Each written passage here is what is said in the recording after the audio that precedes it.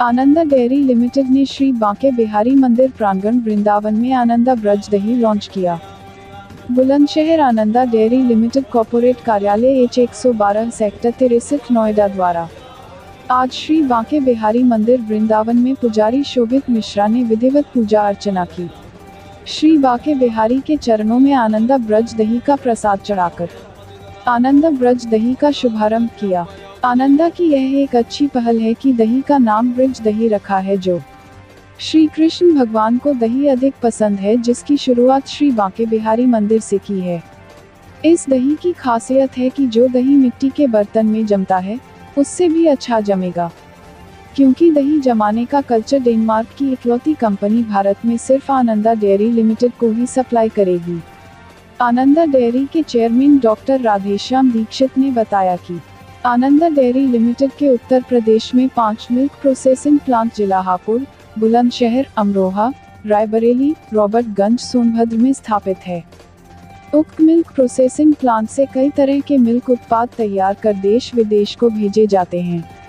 आनंदा का एक पशु आहार संयंत्र भी सियाना, बुलंदशहर में स्थापित है। उक्त संयंत्र से उच्च क्वालिटी का पशु आहार तैयार किया जाता है। चेयरमैन ने बताया कि आनंदा की डॉक्टरों की टीम गांव-गांव में जाकर पशुओं की नस्ल सुधार का कार्य करती है। आनंदा डेयरी से सीधे तौर पर तीन लाख किसान और किसान महिलाएँ पहले से जुड़ी हुई हैं, जो छह हज़ार गाँवों से दूध खरीदती है। जिनकी पेमेंट सीधे किसानों के बैंक खाते में डिजिटल की जाती है। Ananda dairy local for global पर भी काम कर रही है। आनंदा डेयरी के पिलखुआ में स्थित फैक्ट्री से कई उत्पाद विदेशों में भी जाते हैं। इस मौके पर डेनमार्क की company C H R Hansen के एम डी अनुराग चट्टा नीरज कुमार, विजय यादव, विजय पोदार और आनंदा डेयरी के डायरेक्टर सूरज दीक्षित, राहुल दीक्षित आदि उपस्थित रहे। सबसे पहले मैं सभी ब्रजवासियों को धन्यवाद देता हूँ कि आज ऐसा मौका हमें मिला यहाँ पर कि भगवान के दरवाजे पर आकर के और प्रभु के काम को ही हमने एक अंजाम देने की कोशिश की है। ये जो भगवान कृष्ण के जमाने से जो कल्चर, जो खट्टा जिसको हम जामुन बोलते हैं, जिसे हम दही जमाते हैं, वो डेनमार्क की कंपनी क्रिश्चियन हैंसन आप अनुराग चड्डा जी हमारे साथ हैं।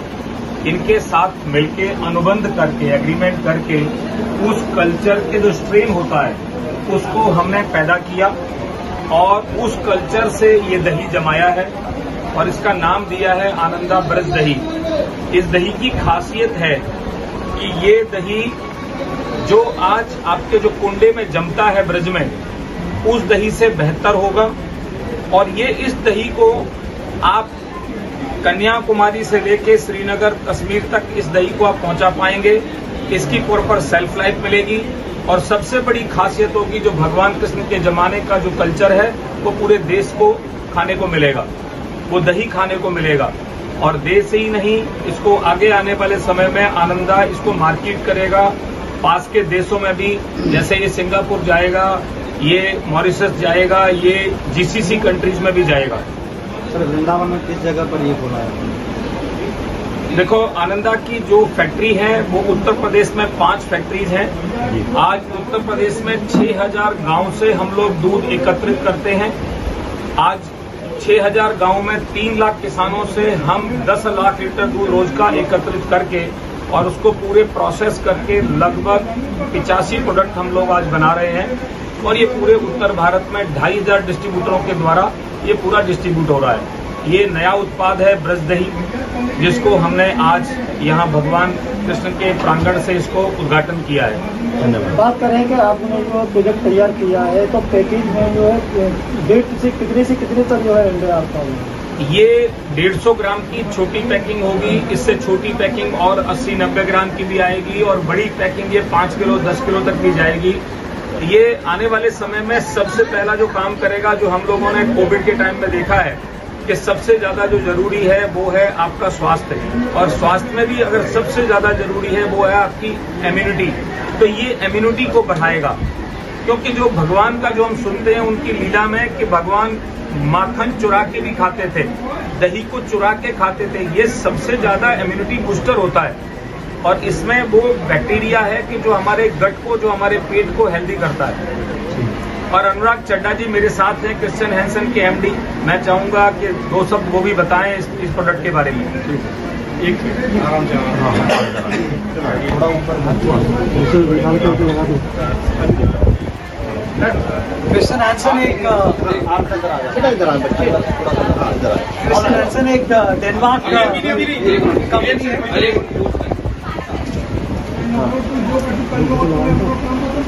है ये ये प्रोडक्ट है इसमें क्या खासियत है?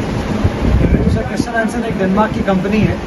हम आनंदा फूड्स के साथ में बहुत सालों से काम कर रहे हैं। उनके साथ में आज करीब दो ढाई तीन साल पहले हमने ब्रज का दही टेस्ट किया था। और हमने अपने पूरी लाइब्रेरी इतने सारे स्ट्रेन है, उनको सबको देखा और एक ऐसा दही निकाला जिसका टेस्ट और जिसका जो सारी खासियत है, वो तो एकदम ब्रज के दही की तरह। यही सबसे बड़ी खासियत है नहीं सबसे बड़ी खासियत इसके अंदर ये रहेगी कि ये जल्दी से खट्टा नहीं होगा। इसकी शेल्फ लाइफ बढ़ेगी और एकदम सबसे जो कहते हैं प्योर इन्वायरमेंट से बन के आ रहा है। इसके अंदर किसी तरह का आइडेंटिफिकेशन नहीं है। इसके अंदर किसी तरह की मिलावट नहीं है। और जैसा टेस्ट